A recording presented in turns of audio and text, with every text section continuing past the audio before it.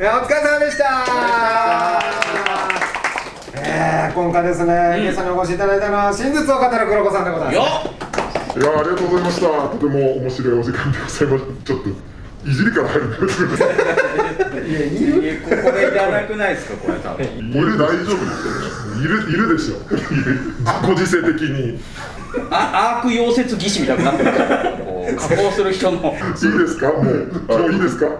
ちょっとテンション上がってきたら多分窒息しますよそれ。ここ伏せられてるから。封じられるからすいません外させていただきます。よろしくお願いします。お願いします。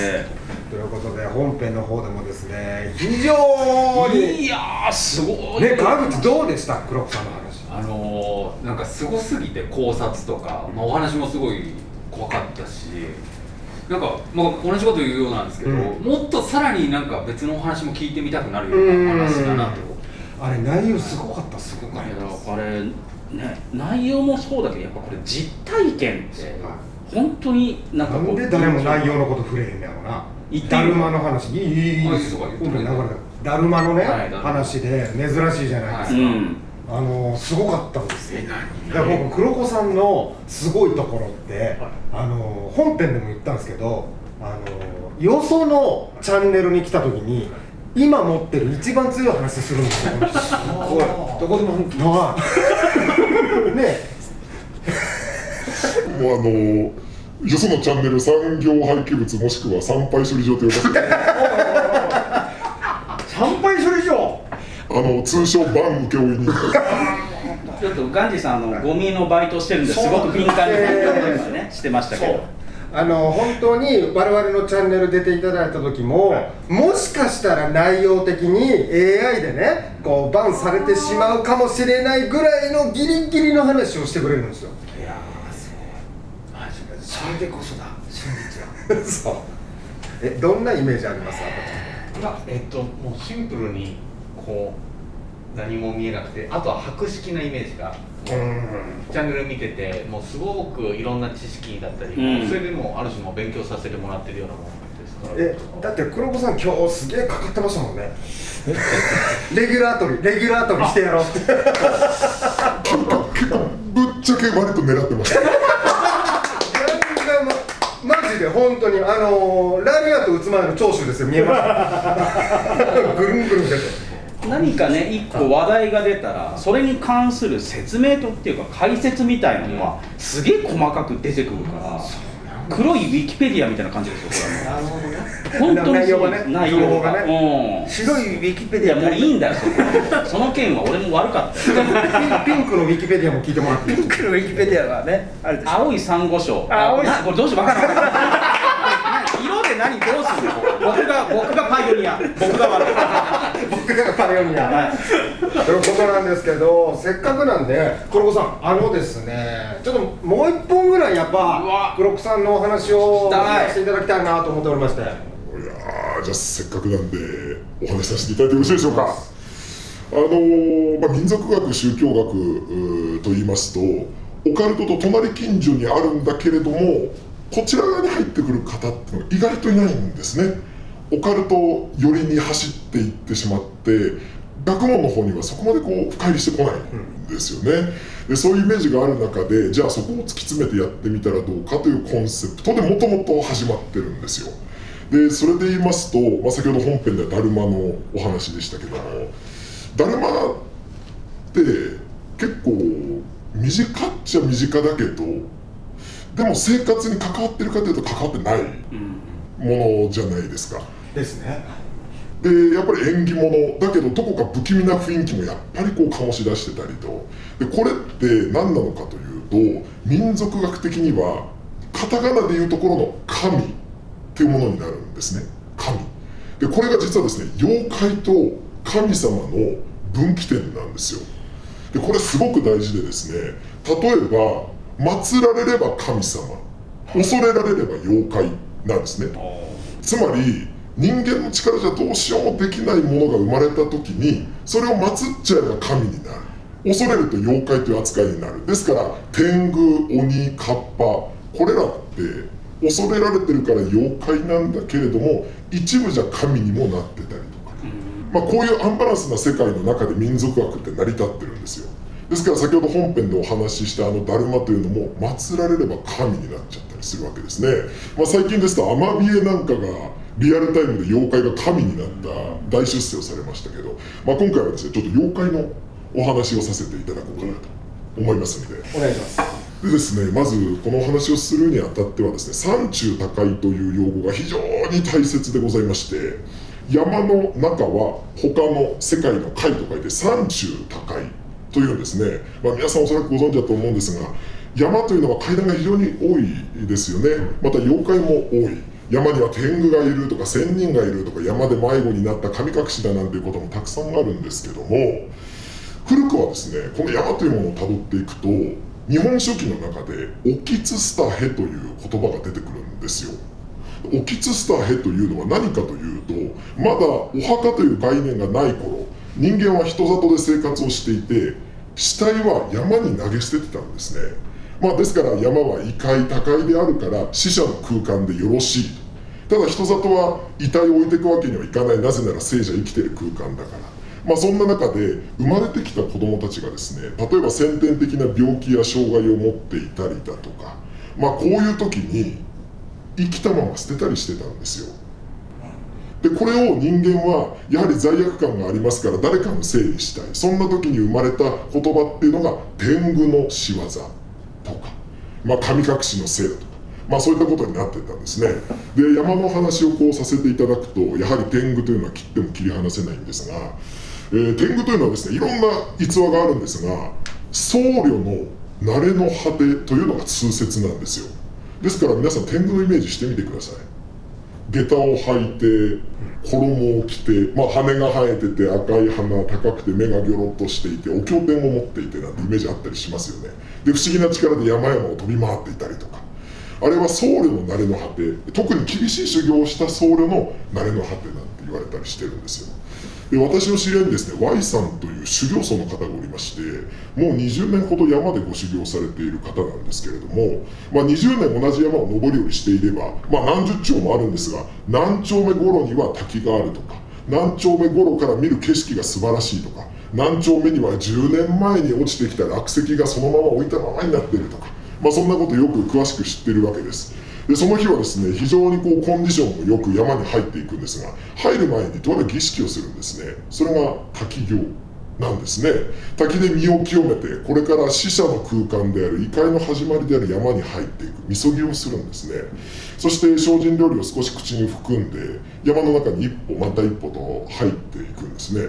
で入っていきますとすごく調子がいいんです。どんどんどんどん歩を進めていくんですけれども何丁目何丁目と区切りの休憩所でお茶を飲むんですね。ああ疲れた。でも調子がいいななんてことを思いながらお茶を出してこう飲むんです。でそのついで空を見ますと都会と違って広いんですね。でこの Y さんというのはもともとサラリーマンをされてましてまあ実生活で人間関係がこじれてしまったことをきっかけに出家をされた僧侶だったんですね。休憩も終わってさあ行こうかということで、え山の小鳥のさえずりや滝の音なんかをこう聞きながら一歩一歩またこう上がっていくんです。でどんどんどんどん上がっていくと本当に調子がいいんですね。方がどんどんどんどん早まっていく。しばらく山を登ったところで気づくんです。あれ？自分の呼吸が上がってないんですね。歩はどんどん早まっていくんですけれども呼吸が上がってない。あれおかしいな。でもこんなに調子がいいからそんなに気にしなくてもいいのかな。でまたしばらく上がっていくとあれこれどうしてもおかしいおかしいな止まろうと思うとその気持ちと反対になるように足がどんどんどんどん回ってしまってもう半ば山を走ってるような状態になるんですね。どんどんどんどん足が速まっていって山をガンガンガンガン駆け上がっていく。でも心臓は全く上がらないんです。汗一つかかない。やばいやばいこれ止まらなきゃ止まらなきゃ危ない危ないと思ってると奥の方からスーッと小さなお堂が見えてくるんです。あのお堂に捕まろう。なんとかしてあのお堂でこの砲を止めないと危ない。そう直感的に思うんですね。お堂がだんだん近づいてくるんです。バッと飛びついてお堂は一段高くなっていて階段がついているその高いところに正方形のお堂が立っていて、まあ、屋根がついているこの階段の部分に手がなんとか引っかかったんです。そしてやっとの思いでこう這いずり上がりましてドアをパッと見ますとちょうど手のひらぐらいでしょうかね。金色の丸が2つついていて観音開きが開くんです。で中に入りましてやっとの思いで壁にこう寄っかかってみますと先ほどと打って変わって大汗かいて心臓がバクバクなってるんですね、まあ、お茶を取り出して水を飲む。冷静に考えてあれ？ここにこんなお堂ないなってことに気づくんですね。山の全ての情景20年登りをしてますから気づいてるんです。あれこんなものはないぞ。そんなことをしておりますと奥の方からこっちへ来い。こう聞こえるんですね。あれ？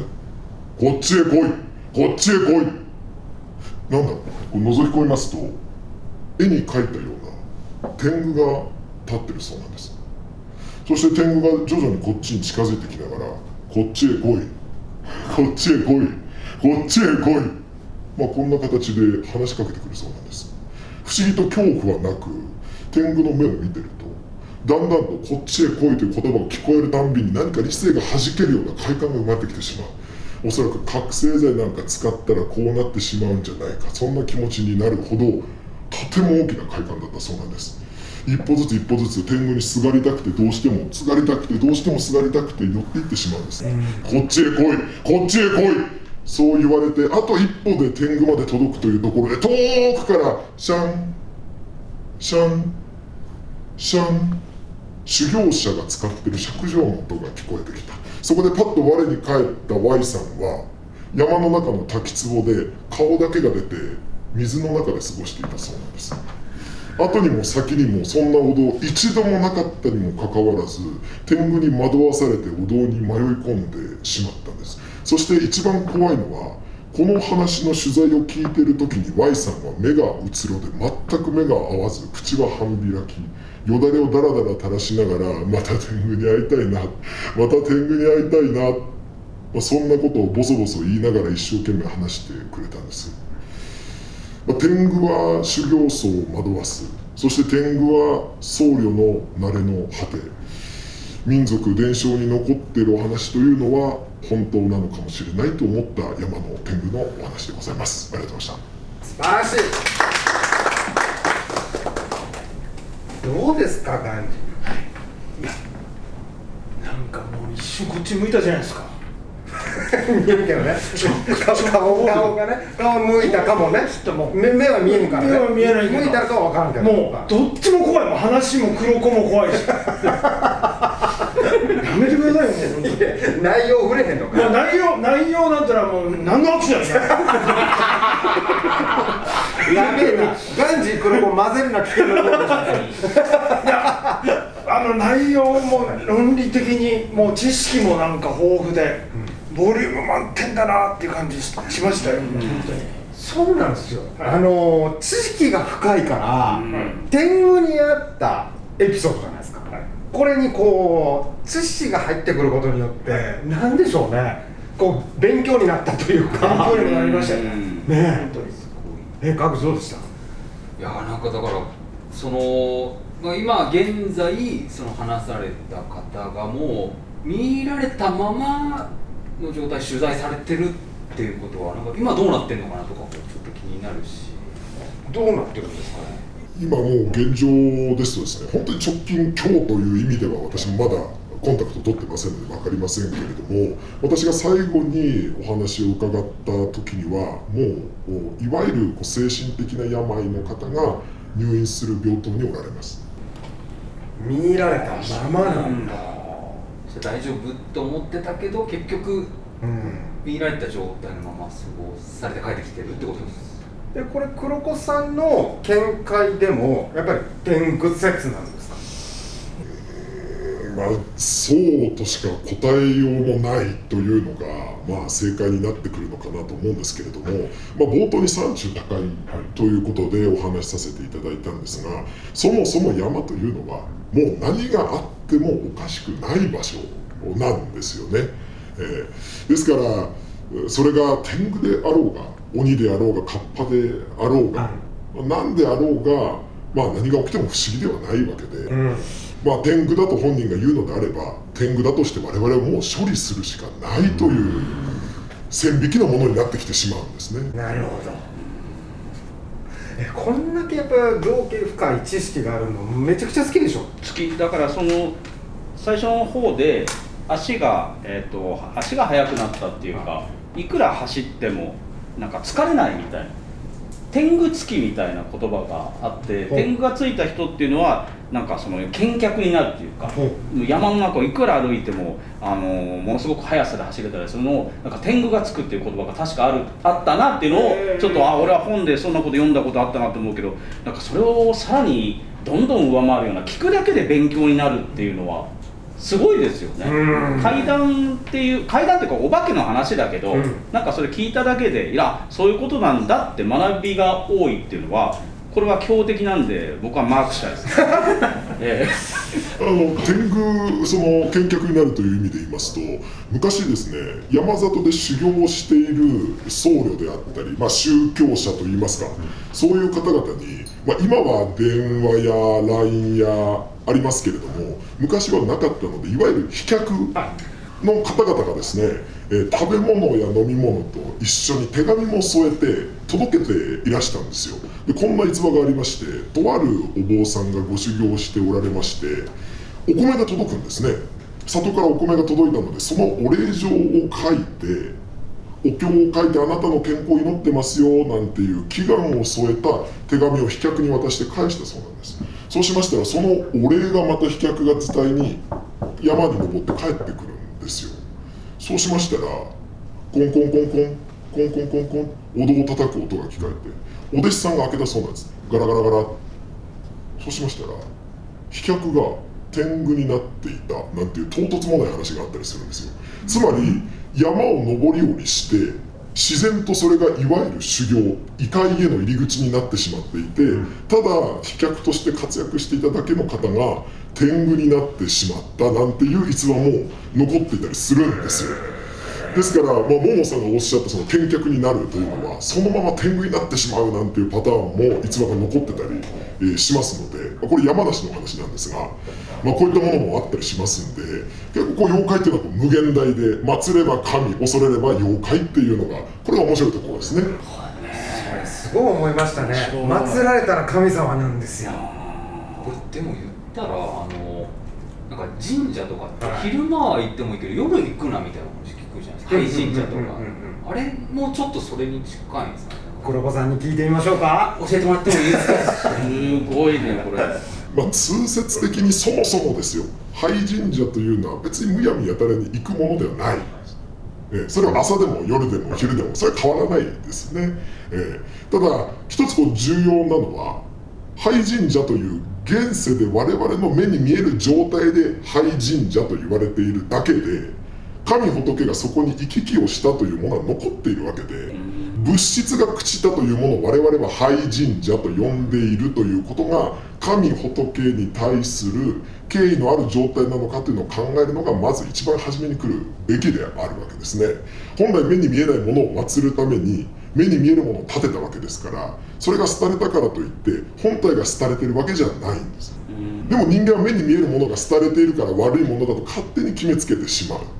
でこの辺りが現在のオカルトとか心霊みたいな業界の大きな間違いなんではないかというのは学者さんがよく口々におっしゃったりもしますよね。ねですからそれがご質問の答えになっているかは分かりませんが学問でいうと建物の廃れているかどうかというのは神仏が廃れたかどうかとは関係がないんですね。